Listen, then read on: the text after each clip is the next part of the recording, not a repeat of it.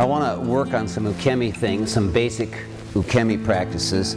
And if you shift from sitting this way to putting one knee up and one knee down against the mat, then you'll find your weight shift to the sits bone of the knee that's down. All right? And what we want to do is trace a path from that sits bone to the opposite shoulder, a diagonal path. Now, if you'll rock back to the opposite shoulder, that's it. You'll get uh, the weight transferring in a diagonal path, and that's the most basic thing you want to teach a beginner the first time they come in, in my mind.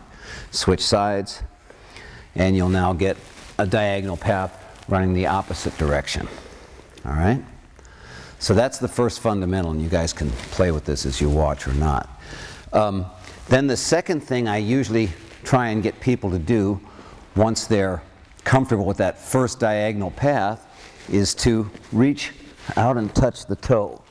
Start to, don't worry if you can or not, but just find that, that touch and put the weight out on the shoulder. We want the weight as far out on the shoulder as you can get it. At some point, it's going to be so far that you roll to the side. I would rather they did that because they're not going to hurt their head, they're not going to hurt their neck, they're not going to hurt themselves probably. But as far out to the side as you can get so that you're likely to save and protect your head. So touch your toe, transferring the weight in a diagonal path. And those are the fundamentals I try and get a beginner to do. Once they can get that diagonal path, once that's translated into the body, then I'd ask you to reach out and touch your toe and stay there. All right? If your position is right and if you can get your balance there, your head should not touch the mat. So bring your ear against your shoulder. When I teach beginners, I usually, when I'm teaching them the diagonal path, I tell them there's a little person sitting on their shoulders trying to teach them how to roll. And if they'll get real close, they can hear what he's saying. so as I tip my head way out of the way, when I touch there, my head's not touching the mat. Go ahead. Yeah. All right, once you can get somebody to balance there, come back. And then I encourage them to relax at that point and see if you can, let me go first, if you can hang out there for a second in a pretty comfortable way. You should be able to talk, you should be able to breathe, you should be pretty comfortable in that position. If you are, go ahead. Once someone's in that position with the knee, uh, toe touching, you can touch the knee. Once you've touched the knee, you've completed the roll. All right, just come bring your head on up. So watch me once again. Touch the toe, touch the knee, and you're through. Okay? Go ahead. And this to me are the kind of basic fundamentals I'd like every beginner to have because the thing I don't want is the head hitting the mat or particularly putting pressure on the neck. On the mat, of course, if your head touches, it doesn't hurt, but on a hard surface, it would. So you'd like your uh, body to move through, the head never touches the mat.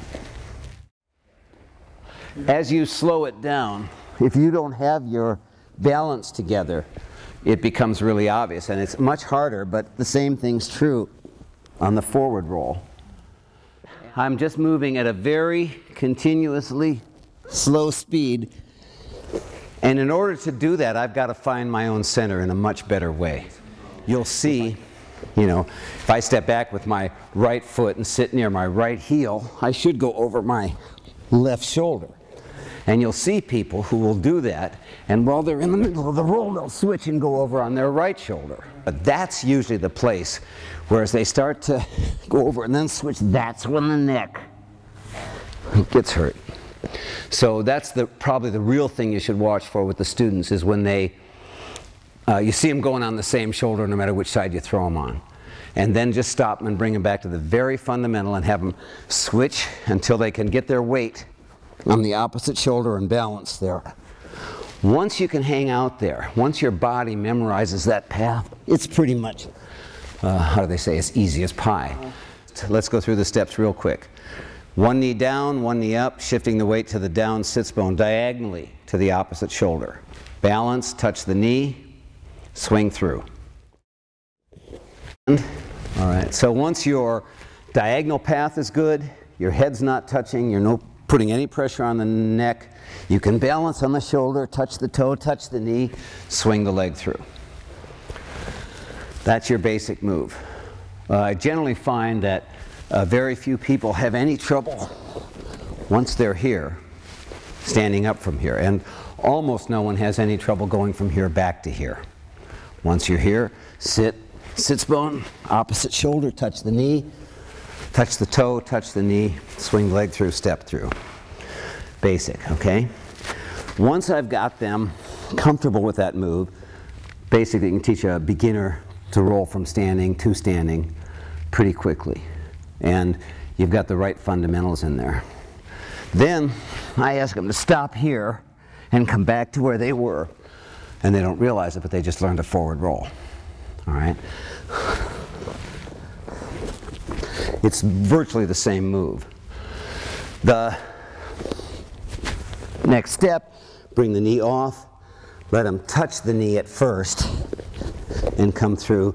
And as soon as they're looking fluid from there, then with the knee off without touching the knee, come through the roll. All right? So the next danger point becomes the shoulder. You don't want somebody jamming their shoulder in. So that's when I start this kind of Sankyo type move. I roll the arm over. Okay? And then we can bring them up to standing and bring them through. The only other piece I wanted to add on the forward roll is that we don't want to get in the habit of letting the heel hit, which a lot of people do on the mat, not a big deal, but on a hard surface it would be very bad. So we'd like to reach with the toe. And if you can, I'll see if I can exaggerate this, you'd like to have the toe, uh, uh, the heel up a little bit so there's a little compression as you hit. So when you hit, there's a, a little absorption in your body rather than having the foot bang. And certainly not having the heel bang.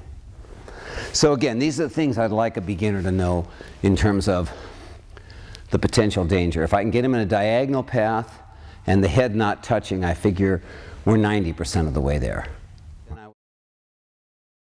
Uh, so because we've learned it this way, we usually then uh, do our back roll, reversing that by putting the knee down.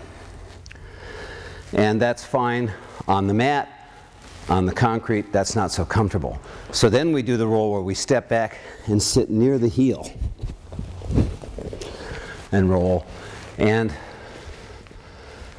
uh, it's, a, um, it's a basic point of knowledge, I think, that certainly by blue belt or brown belt, everyone should have that. Sitting close to the heel and rolling that way. And again, as instructors, you want to have that roll in your knowledge base and you want to make sure that as soon as it's viable, that goes out to the students. To me, we were talking about the concept of presence, being uh, in touch with what you're experiencing and moving in harmony with the situation. So if you have that as what you're really developing, your body should make the right adjustments. But I like to make sure that teaching staff and colored belts are demonstrating it properly and notice it when you see a beginner doing hurting their neck, hitting their head, banging their heel, always dropping on the knee, always going on the same shoulder, that you correct them.